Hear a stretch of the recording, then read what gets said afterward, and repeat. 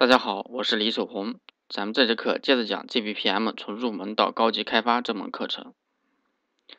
咱们上节课讲到了初级开发里边的 Decision 节点，咱们后边讲一个也是非常重要的一个节点 For Each 节点。For Each 节点是什么意思呢？它顾名思义，For Each 咱们看到了就跟咱们那个在代码开发里边的一个循环一样，它其实也是一种循环节点。它是循环是什么意思？循环一个任务节点，把它分支生成一个动态的生成一些子任务节点，这个就是咱们这个 for each 的作用。它主要运用场景是什么意思呢？它有两个特性，一个是动态的生成任务嘛，就是你表面上看起来是一个任务节点，就是我根据你传入的一些参数不同，可以生成不同的任务节点。这些不同任务节点，我还可以定义。这些任务节点的一个完成方式，就是什么时候我这个任务就能完成了。还有是，我可以定义这些任务节点的一个接收人，这是也非常重要的。这个重要的应用场景就是一个咱们经常说的一种会签。会签是什么意思？就是说我去发起一项任务，比如说我发起一个呃审批，比如说是还还拿咱们还拿那个请假审批来做比较。比如说，发起一个请假，这个请假呢会提交一个提交给一个部门，这个部门假如就叫咱们就叫它一个审批组。这个审批组里边，假如有五个人，只要只要有其中有三个人审批通过了，其他两个人就不需要审批了，就直接就通过了，就说这个请假审批就算通过了。这是咱们的一种经常生活中经常用到的一种方式。这个就是 for each 的一个作用，它能去做一个会签，简单的会签。咱们接着看一下这个，在这个 GPPM 里边是如何实现这个 For Each 节点。首先是如何画，第二个是如何用。咱们首先建立一个项目，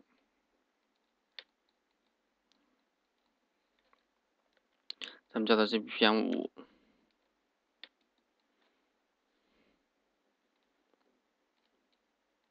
咱们把这个 GPPM 四删掉，然后把这关掉。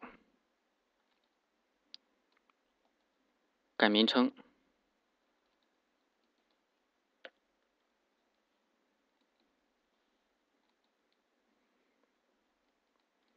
咱们看一下，咱们首先把这些以前的东西删除掉，这样大家看的更加清晰一点。首先，咱们去建立一个 GPTL 的一个文件，咱们就叫它 for each。大家看一下这个节点，首先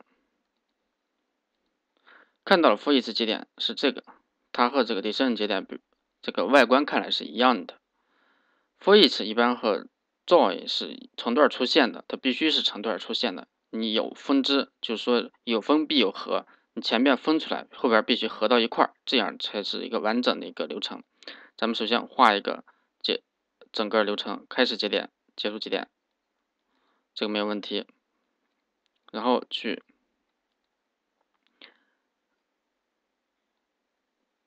定一个 task 节点，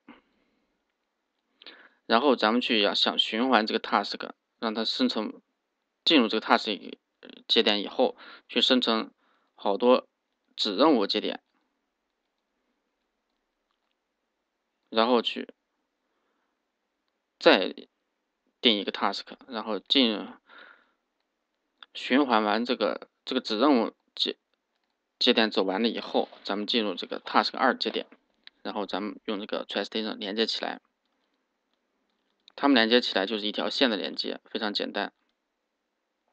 然后保存一下，咱们跟首先讲解一下这个图是什么意思，就是说我去发起一个流程，从 start 节点走入以后，直接进入一个 for each 节点，for each 进入这个 task 以后。咱们看起来这是一个 task，它会根据不同条件生成不同的 sub task，生成一个或多个 sub task 节点。这个节点 sub task 是一个分支节点，在图上是看不到的，只有代码里边可以体现，在表结构里边也能体现。然后最后，如果这个 sub task 所有执行完了以后，满足咱们执行完条件以后，咱们执行完的条件可以设定，然后就进入造，造直接去进入 task，造节点不做停留，它只是一种汇合的一种标识，直接进入 task 二。咱们要做这个实例就是，我去做一个场景，就是下边去做一个 demo，就是我去模拟一种审批，比如说是我去定一个流程，五五个人，只要有三个人审批完了以后，就能的进入 task 二。咱们作为这么一个，首先看一下咱们如何去定义这个 for each，大家看一下进入以后 for each 是报错的，说明这个 for each 还缺一些东西。咱们看一下报错内容。说是没有 where 和 in 标签，所以说咱们这个 where 和 in 是必须的。咱们看一下 where in，它们两个分别代表什么意思呢？我给大家讲解一下，这个 in 就是表示是，咱们看一下刚才。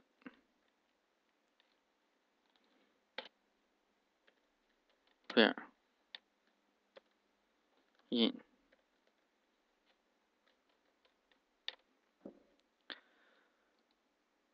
这个 in 就是什么意思啊？就是说我要循环的一个循环体，这个是一个集合类型的，比如说 list、set 或者 map 或者是一个数组都可以，或者是一种字符串用逗号隔开都可以。这个里边就是一个具体的其中 list 和 map 的一个元素，这是它们俩就是整体，这是一个单个的，表示整体里边的一个部分。这个 for each 特别像咱们用过的 JSTL 里边的 for each，咱们看一下，咱们里边去获取一个这个集合是从咱们那个表里边会或从咱们那个代码里边动态的去添加进去了，咱们就叫它 managers。会传入一个 manager 是变量，具体的每个变量咱们就叫它 manager。这个咱们赋值，这个 assigner 赋给 manager 是什么意思呢？就是说我把 manager 的每一个元素都要给它生成一个 task 指任务节点，这个指任务节点把它指定给谁呢？指定给这个 manager 这个人。咱们具体的每一个这个 manager 集合里边的每一个 manager，大家等会儿看一下这个效果是什么样的。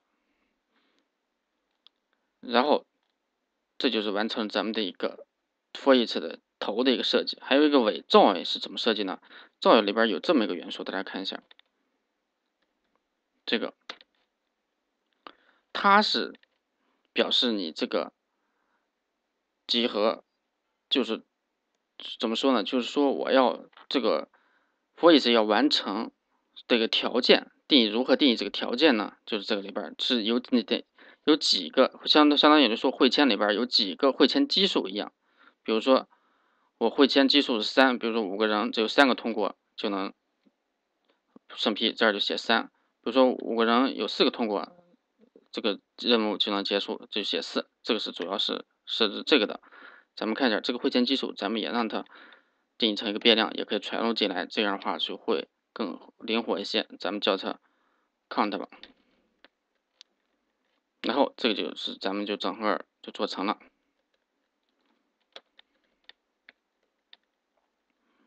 定一个 k，然后就 OK 了，咱们可以部署流程。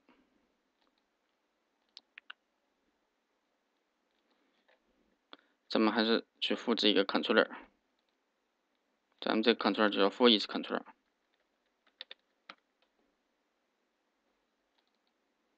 这里边叫 for each for 吧。首先部署这个流程。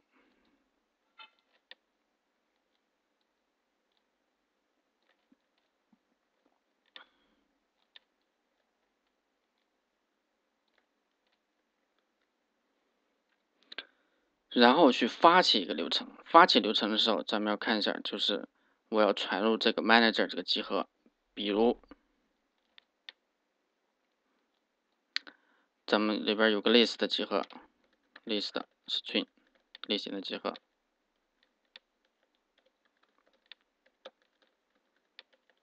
这个集合一，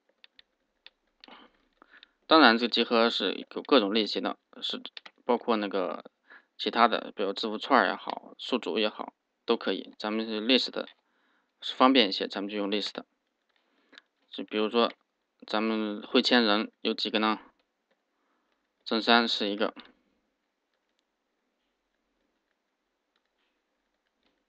李四算一个。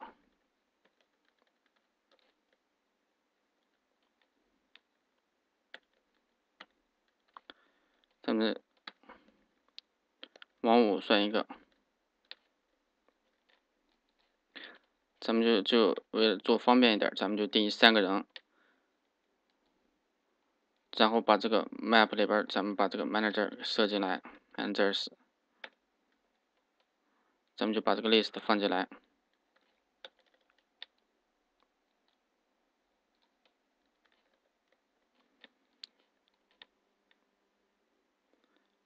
map，咱们这边是 object 类型，这样才能把那个 list 放进来。然后 map 里边，咱们再 put 一个 count，就是刚才说到那个会签基数的一个东西。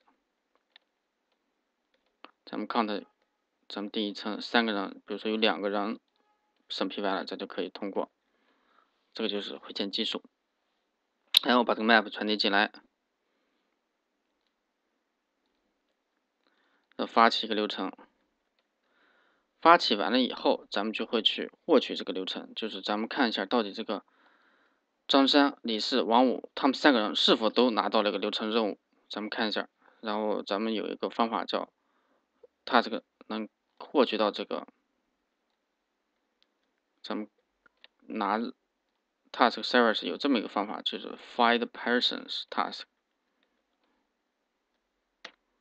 就咱们看一下张三他有没有任务，李四有没有任务，王五有没有任务，他们返回的是 list 个 task 结合，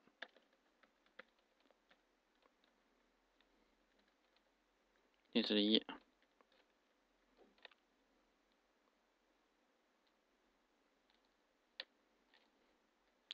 张三，咱们把张三这个。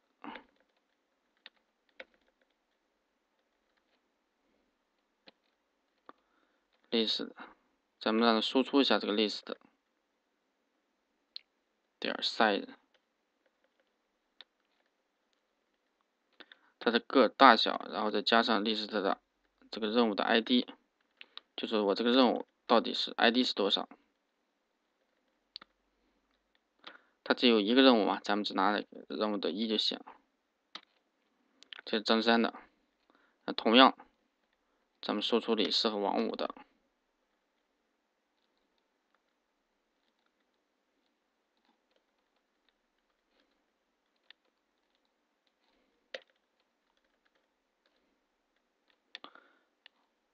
这个叫历史二，这个是三，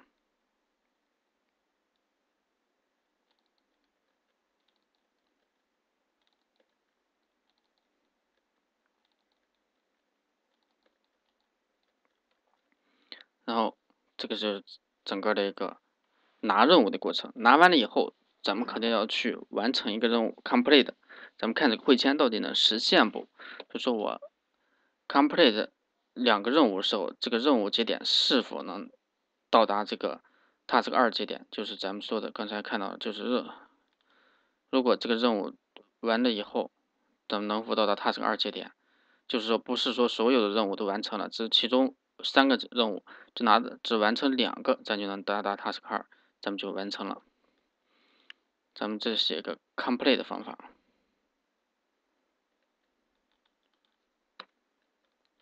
咱们叫做 complete。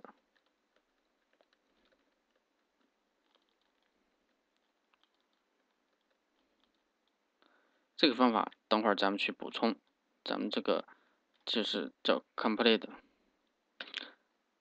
通过任务 ID 去完成任务，这个是没有返回值的。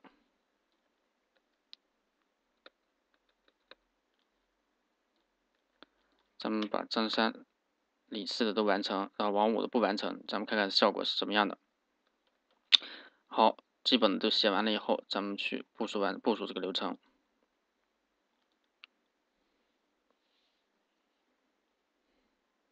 然后启动。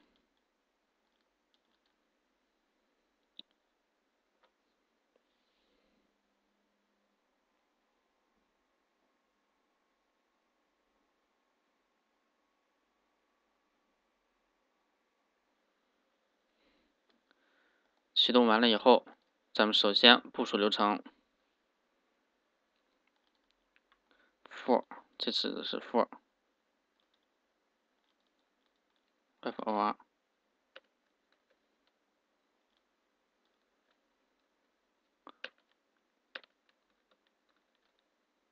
度部署流程。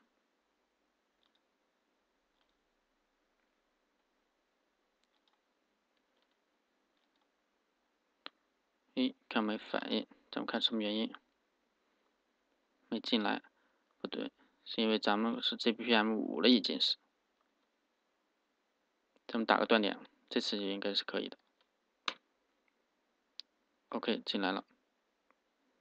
咱们走，部署完流程没问题，咱们看一下数据库里边，哎，是这个库。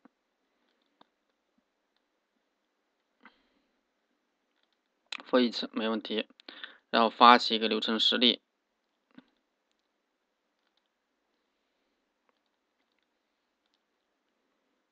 是它。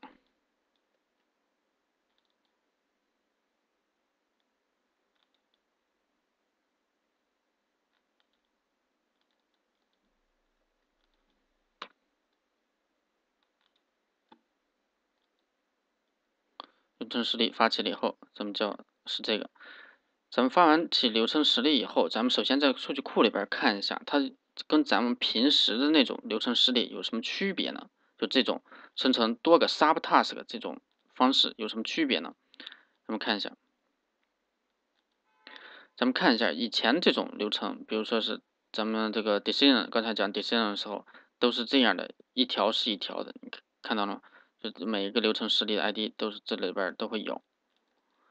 但是这个不同 f o r e 是不同的，它你看，咱们发起一个，刚才只 f o r e 只发起了一这个一个流程实例吧，但它会产生四条流程实例，发起了一个流程，但是产生四条流程实例，一个是主的，大家看到这个主的有什么特点呢？它是首先看它这个没有 active 节点，而且和和这个 subtask 这个明显区别是，看 subtask 这个后边是一二三，是相当于是它这个主节点，前边这段都是一样的，后边只是 subtask 的一个流程实例的 ID，它会给它分配一个，相当于这个流程实例 ID 是它的子 ID，大家一看就能看出来，这个就是它的区别。当然，咱们从库里边也能看到它这个。当前所在任务节点其实都在 task 一了，这三个流程实例都在 task 一，这就是咱们这个这个是能看到它这个当前所在的任务节点。咱们看一下，从这个 task 里边看一下张三李四王五，他这个三个人是是否真正的拿到了任务？咱们看一下，咱没打断点，咱们看一下输出。看见了吗？是三个。张三拿到了一个任务，他任务实力是这么个。李四拿到了一个，他任务任务 ID 这个。王五也拿到了一个。也说，我发起了一个任务，会生成三个子任务。这三个子任务有独立的任务 ID，但是他们三个子任务就同属于一个大的一个任务，这是叫 task 一。这是他们之间的一个关系，大家一定要清楚。这三个子任务。就分配给了三个人，张三、李四、王五，我都能看到。这个就是咱们整个的一个流程。我再给大家理一遍，这块比较难难理解啊。就是我发起了一个 for each，用 for each 去发起了一个任务实例。发起了以后，这经过 for each 时候，它就相当于是个分散器，称一下，根据你传入的变量或者集合，我把每给每集合里边的每一个元素都分配了一个任务。这个。取决于主要是给到分配任务，主要是用这个标签儿。我用 assigner 去分配了一个任务，给每一个集合里边每个元素分配任务以后，这里边的每个元素就会拿到这个任务的一个子任务，记住是子任务。张三李四王五拿到的是子任务，他们只三个的子任务又同属一个副任务，一个正一个大任务，这就是他们的一个关系。他们三个子任务有独立的任务 ID。刚才看到了流程那个实例，他们也是有关系的，就是刚才看到那个表结构的关系。然后咱们去完成任务，咱们看一下，咱们把。张三和李四的完成以后，咱们刚才设置的那个审批的一个基础，相当于是完成的一个基数，完成的一个条件，就是完成两个 count 设置是二，也就是说我只要张三李四完成了以后，或者是张三王五，只要是这三个人里边两个人完成以后，这个任务就结束了，就走到了下一个节点。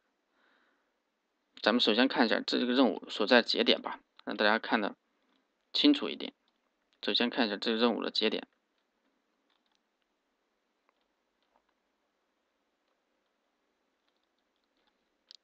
刚才咱们库里边看的是 task 一，task 一没问题。你说这个任务其实是还是 task 一节点的。然后咱们看一下张三李四完成以后是否是能达到 task 二节点，咱们看一下。这个就是 complete，就是张三李四完成。咱们走一下，我打个断点，走进来，把这些清空掉。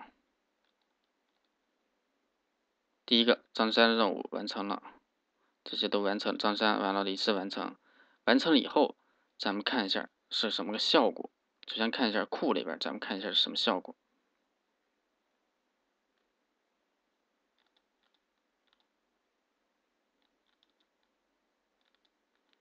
看没有了，这个 for each 三个节点整个没有了，for each 现在就有一个 for each 吧，而且当前节点应该是在 task 二，看子任务都没有了，咱们看一下是否是在 task 二，咱们用这个去 now 主方法去查询一下，